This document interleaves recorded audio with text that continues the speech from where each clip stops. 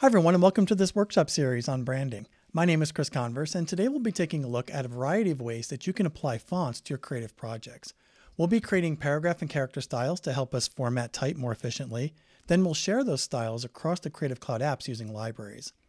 I'll also show you how to get a jumpstart on your projects using templates from Adobe Stock, where more of the time consuming aspect of creating a variety of type styles is already done for us. So we can focus on making modifications and then adjusting the design to match our brand.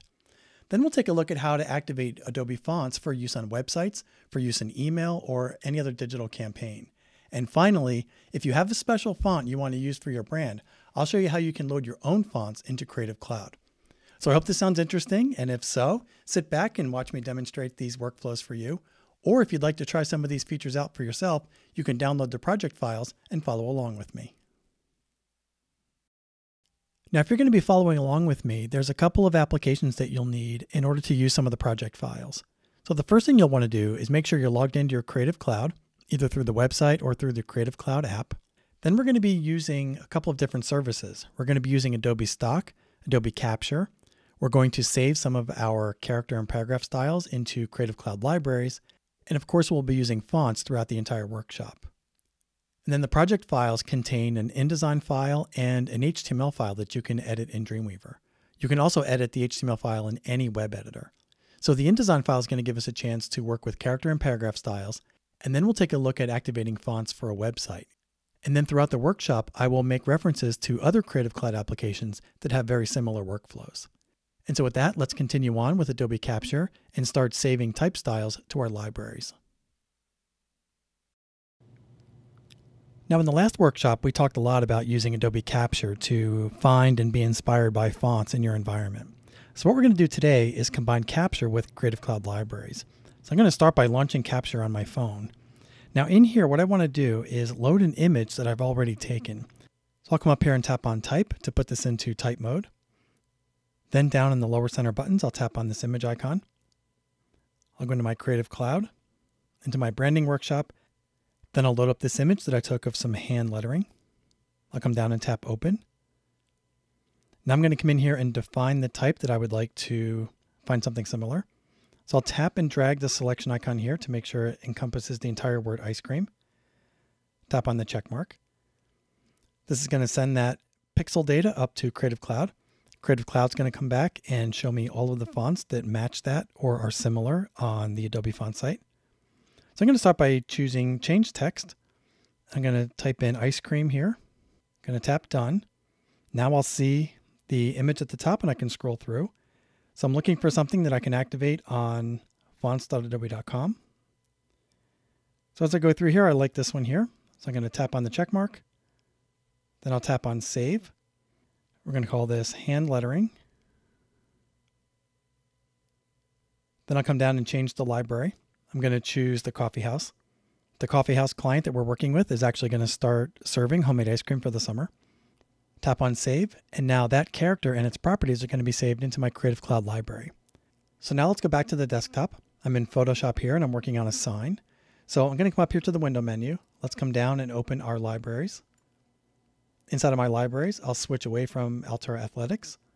Then I'll open up the Coffee House library and I can come down here and see the font is showing up with the name that I gave it and a little preview. Next, I come over here to the layers panel. I'll select this text layer here, homemade ice cream, then come back to my library and apply my type style. Now on the canvas, I can see that taking effect. I'll hit the letter T to switch into my text tool. I'm going to select all the text. Then I'll come up here and I'll increase the size of the font. Then I'll select all this and I will increase the size of the leading as well. I'll go over to the properties panel. This is 182 on 37. Let's change this to about 140. Extend the size of my text block down. And then I can come in here and make some minor adjustments to the tracking between some of the letters. And so as you can see, we can quickly capture fonts through our camera or fonts that are inside of photographs, identify them, save them to our library, and then quickly apply them to our creative projects. And so next we're going to talk about how we can create our own character and paragraph styles based on fonts that we've already discovered and activated through Creative Cloud. Now we're going to take a look at creating our own character and paragraph styles, and we'll do this inside of InDesign. Now the workflow is going to be very similar in tools like Photoshop and Illustrator as well, any application that supports creating these types of styles. So to begin, we're going to go into our project files if you'd like to follow along. Then inside of the brand guide folder, I have an InDesign file. This is our working draft of our brand guidelines. So let's open this up. Now inside of here, if I use shift page down, I can go through the different pages here. So what we're going to be doing is changing the style of the headings in the top left corner. So I'll stop on one of these pages here. I'm going to be changing this text here in the upper left. So what we're going to do to begin is we're going to make sure that nothing is selected come down to the paragraph styles and hold the option key on the Mac or Alt in Windows and click on create new style. What this will do is create a new paragraph style and give you all of the options showing up in this dialog box. Otherwise, we would just get a new paragraph style and we'd have to double click it to make changes. We'll start by giving this a name. We'll call this heading A. Make sure the based on is set to no paragraph style. There are some really cool things you can do with basing styles on other styles or doing nested styles. But for today's example, we'll just keep this simple. Then let's come over to basic character formats. For the font family, let's come in here and choose Termina. That's going to be one of the font families that we're going to be using for this brand. Down for the font style, let's make sure this is set to heavy. For the font size, we're going to set this to 36 points. Hit tab and we're going to set the leading to 32. Then let's come down and set the case to all caps. And then one final setting, let's come over to indents and spacing. And let's come down here and let's set the space after to 70 pixels. Then click OK. Now with those created, let's come back into our content. I'm going to double click into this text block, select the word colors. Then I'll come down here to the paragraph styles and select heading A. Now with that selected, I'll come up here, select my direct selection tool and then click away. Then hit page down to go to the fonts page, select the word fonts, and let's apply heading A here as well. Now once you've applied this, you can hit the escape key to escape out of this. Page down, let's go to the next page. Now another nice thing with paragraph styles is you can simply get your cursor inside of the text. So on the next page, let's get our cursor inside of the word logo lockup. And without selecting the characters, we can still come down and hit heading A. Hit the escape key, page down. One more way that we can do this is to get our cursor in one of these characters, hit command or control return bring up your quick apply and inside of the quick apply you can come in here and select it here as well and then hit escape. So I'm going to continue through and we're going to apply that new style to all of the headings throughout the document. So we're on the last page here. So page up, page up, again and again, one more time. For mission, let's apply that, hit escape, and then page up again, we're back at the main cover. So now we've created a new paragraph style and applied it throughout the document. Now let's go back to the pages where our content is on a red background. So for this, we want to create something called a character style, which will apply some properties to the individual characters while still keeping the properties of the paragraph style. So to do that, let's come down to the character styles. Let's come down here, hold the option key and create a new character style. And in the character style here, let's come down to character color and let's choose paper. Then click OK. I forgot to name it, so let me double click this and give this a name. I'll name this white. Click OK. And now what I can do is come down here and select the entire text block. And with the entire text block selected, I'll come down here and select the character style of white. Notice now when I have the individual paragraph style selected, I can see here that the body is being used and I don't see a plus sign, which means I have no overrides for that reverse color. And I can also come up here and select the heading and see that here as well. So now let's go page down two more times, select this. We're going to apply the white character style there as well. So using paragraph and character styles gives us a really efficient way to apply consistent typography throughout our document. And so now at this point, we're going to take a look at using templates on Adobe Stock, where a lot of this work has been done for us, and we can simply go in and make modifications to the character and paragraph styles that are already created. So now that we've taken a look at creating our own paragraph and character styles, now let's take a look at something that can really help you get a jumpstart on your workflow, and that's something called templates. So from my Adobe homepage, I'm going to come in here and go to the Adobe Stock site. And on the Adobe Stock site, I'm going to change the main filter to templates. And in here, I'll just type newsletter. I'll select this from the menu, press return, and this search will return all of the templates available around creating newsletters. Now over in the left-hand side, I can open up this filter and we can see in here there are a bunch of different file formats that you can download, including Photoshop, Illustrator, and InDesign. And by the way, if I come up here and remove that filter and just press return, You'll also see Premiere Pro and Premiere Rush. These are motion graphic templates, and we're going to talk about those a little bit later in the series. So for our newsletter, I'm going to come up here and hit the back button and just go back to that search. You can see all the different newsletters down here. Here's one that I've already licensed. So if I come in here and click on this, I can see the details. So this is an InDesign file and I can re-download this. Now, once I download this, if I come over here and reveal my desktop, you'll see the InDesign file showing up here, the INDT file, which is a template. And so now if I double click this, this will open up a new untitled document inside of InDesign based on this template. So here we can see all of the content in here. All of the pink areas are meant for me to either put in graphics or change colors. I'll come in here and zoom up on page one. You can see the content in here. And then I'm going to hit the page down holding shift and I can just sort of go through all the different pages of this template. So there's lots of pages in here, lots of stuff already set up for me. But what's most important, if we look over here in the paragraph and character styles, we can see that all of these character styles and paragraph styles have been set up for us. So all of that more tedious work has been done, and we can simply come in here and make some changes. And so now I'll jump over here to a newsletter that I created based on this template. And you can see this can look dramatically different when you start adding your own fonts and content. And so what I want to do is come in here and make a change to the way the headings are styled in here. Now the great thing is the headings were all styled consistently. So if I page through this, I'm looking at this gray type here. I want to come in here and change that property. So what I'm going to do is come in here so I can see multiple instances of that text. I can see it here and here and here. So if I come in here and double click and select some characters inside of InDesign, I can see in the paragraph styles, this heading item will highlight. So this lets me know that that's the style I need to change. So what I'll typically do is make sure I have nothing selected inside of InDesign, then come over here, double click on that headings style, and then come in here and make some changes. So I'm going to come in here first and come down to basic character formats. I'm going to come in here and change this to alternate Gothic. That's the font that we use for this particular brand. So as soon as I select that, you'll see that that changes all throughout my layout. It even changes in here where there's a character style, changing that to be white like we did earlier. Now, if you don't see your layout updating, make sure that you have the preview checked over here in the bottom left. So I'm going to come in here and make a couple of additional changes. So for the size, I'm going to come in here and set this to 36 points. I'm going to set the leading to 34. Let's come down here to character color. I'm going to come in here and set the color to blue. And again, I'm watching this the whole time. And then I'll go back to the basic character formats, come down to case and set this to normal so that I'll take away the all caps. And once I like the changes, I can come down here and click OK. And now if I page through my document, I can see that that type has been consistently changed throughout my entire newsletter.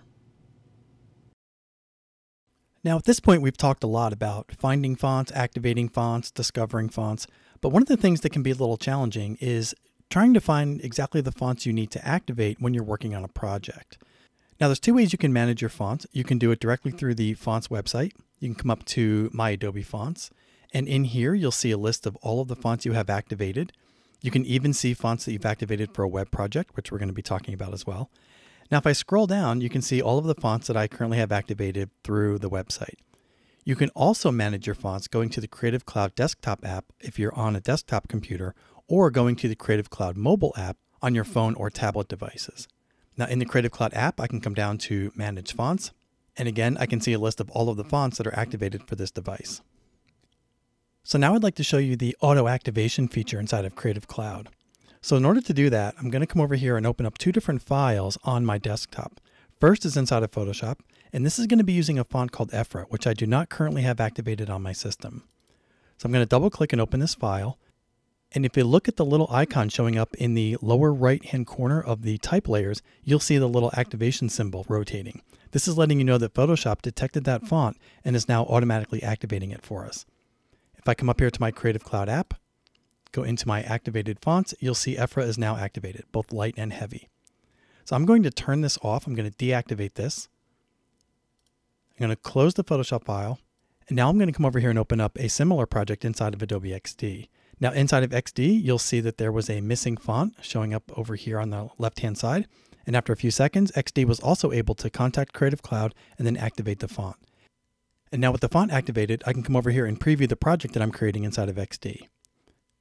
And you'll find a very similar workflow across many of the apps inside of Creative Cloud, allowing you to simply just open the project, have the font activated, and then you can get to your design work. Now, the workflow for activating a font for a website is a little bit different than what we've been doing so far. So from the Adobe site, I'm going to come in here to my apps. Let's go over to the fonts.adobe.com website. Now in here, when you browse your fonts, if you see a font with this little icon next to it, which most of them will have this, this is an indication that I can add this to a web project.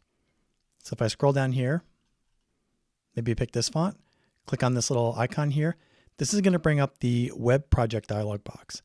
Now, so what this is telling me is I can take all of these fonts, and I can show all of them here, and I can add any one of these to an existing web project or create a new project. In this drop down menu, if I click on this, I can click on this link here and create a new project, or I can add this to an existing project. If I choose Altura Athletics, which I've already created, I can come down here and sort of cherry pick the individual fonts I'd like to add into that existing web project. So I'm going to hit cancel here, scroll up to the top, and let's go over to the Typekit web fonts. On this screen here, there's a button right here at the top that says My Web Projects. This will show me all of the web projects that I've already created. And here I can see Altura Athletics at the top. If I come over here to the right and choose Edit Project, and in here I can see a live list of all of the fonts that are activated for this project. And I can come in here and turn any one of these on and off. Now I'll scroll back up here. I'll close this detail view. And what I want to do is come in here and copy this line of code. Now there's two ways you can add a font to your web page. You can add this in HTML. So we would add the link tag here into the HTML file, or we can switch over to the import link and you can import the CSS right in your CSS file. I'm going to choose the HTML option. So I could come up here and select and copy this, or I can come over here and click on this little icon here, which will copy that to my clipboard. And now with that copy to the clipboard, I'm going to go back to my project files. I'm going to open up the web page folder. And in here, I have an HTML file along with a CSS file and a web graphic. So let's open that index.html file up in a web editor. I'm going to choose Adobe Dreamweaver, but of course you can use any HTML or text editor to follow along. And so now with this file opened in Dreamweaver, I can come over here and in the HTML inside the head area, I'm going to come in here and paste that line of code before my style sheet. So after my title tag, I'll hit a return, hit Command or Control V to paste in that CSS, hit Command or Control S to save. And now inside of Dreamweaver with an HTML file open, you can see a list of all of the files that are hooked in or linked into this HTML file. So the first link here, this is actually the web font that's coming over from Adobe Fonts. We have another reference here that's coming from Adobe Fonts, and then we have our style sheet here. If I come back over to the website, you'll notice that that file name matches my project ID. So to preview my work so far, let's come down to the live preview. I'm going to open this up in Chrome. I'm going to open this up in Chrome, and now there's a live link between Dreamweaver and Chrome. So if I came in here, for example, and added maybe an exclamation point, you'd see that show up right away in the background here. You'll also see that I have some fonts enabled already. So let's come up here and take a look at the style.css file. Now, if you scroll down through here, you'll see all of the CSS rules that I have in place. And here in the HTML selector, you can see that I've already added the reference for Termina. Now to get the exact property names that you need, let's go back to the website. Let's come over here and edit the project. If you scroll down through here, you can see all of the properties that are available. So I'm going to come up here under ethnocentric, and you can see it tells me what the font family needs to be set to. So I'll select this and copy it to the clipboard. I'm also going to come over here and pay attention to the font weight and the font style. So for light italic, the font weight is 300 and the font style is italic. And you can also copy these properties like we did before. So now back in Dreamweaver, let's scroll down. I'm going to find the H1 selector here I'm going to hit a return and we're going to paste in that line of code. That's actually referencing this Altura Athletics heading here. Let's hit another return. Let's add another property. We're going to add font style. So I'll start typing the word font. I'll use the auto completion, choose font hyphen style, and we're going to set this to italic. One more return. We're going to set font weight.